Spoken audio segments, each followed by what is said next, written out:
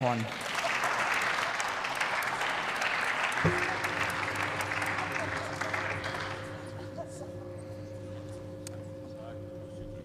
Frau Präsidentin, meine Damen und Herren! Ich beginne meine Rede mit zwei Zitaten. Erstens Robert Habeck im Jahr 2016.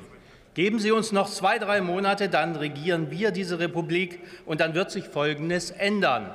Wir werden Nord Stream nicht bauen und die Handelsbeziehungen des Gastransfers zu Russland sukzessive abbauen, weil wir ein Energiewendeland sind. Zweites Zitat. Die niedersächsische Fraktionschefin der Grünen, Julia Willi Hamburg, im September diesen Jahres. Es ist ein riesiger Erfolg für die Bundesregierung, dass Deutschland seit 14 Tagen kein Gas mehr aus Russland importiert. Was sagt uns das? Es zeigt uns, dass es schon vor fünf Jahren Bestand der grünen Pläne war, die preiswerten russischen Gaslieferungen zu sabotieren. Und deshalb zeigt es auch, dass schon die ersten einleitenden Sätze des Regierungsantrages falsch sind. Denn nicht Russland hat künstlich eine Gasknappheit geschaffen, sondern Sie auf der Regierungsbank sind es, die mit allen Mitteln diese Lieferungen verhindern wollten und dies durch Ihre irre Sanktionspolitik auch erreicht haben. Sie nutzen also Ihre verlogene Moralpolitik als Rechtfertigung, um Ihre eigentlichen Ziele zu erreichen. Und eigentlich sollte es doch auch dem Dümmsten klar sein, dass wir nicht nur in diesem, sondern auch in den kommenden Wintern grundlastfähige Kernkraftwerke brauchen werden und dass uns deshalb ein zeitlich begrenzter Streckbetrieb nicht einen Meter weiterbringt dass es auch ein Trugschluss ist, zu glauben, man müsse nur genügend Windräder aufstellen, dann könne man alles andere abbauen. Wenn wir das machen, geht halt bei Flaute das Licht aus. Das ist doch so schwer nicht zu verstehen, meine Damen und Herren. Es sei denn, man baut auf den Import von ausländischen äh, Atom- und Kohlestrom und begibt sich dann natürlich in die nächste fatale Abhängigkeit. Wenn man dann auch noch sagt, Atomkraft erzeugt zwar kein CO2, wollen wir aber trotzdem nicht.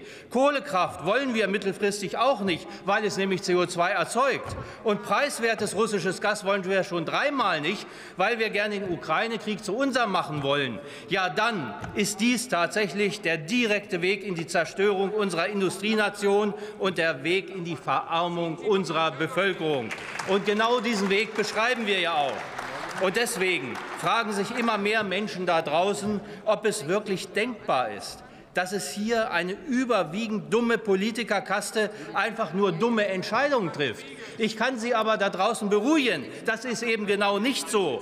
Denn wer die tiefrote Vita der Grünen Partei und ihrer Akteure durchdrungen hat, der weiß, dass mindestens die ideologische Führungselite ganz genau weiß, was sie tut und wohin der Weg eigentlich gehen soll. Und einige sagen das inzwischen ganz ungeniert.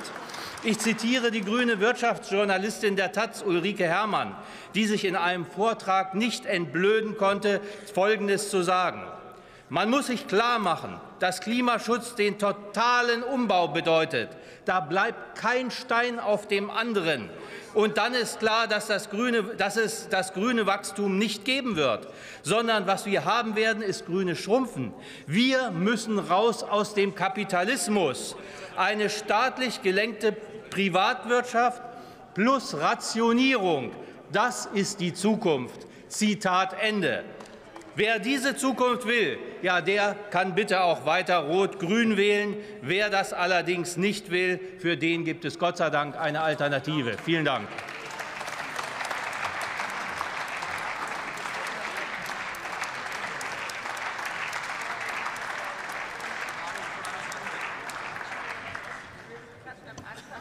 Nächste Rednerin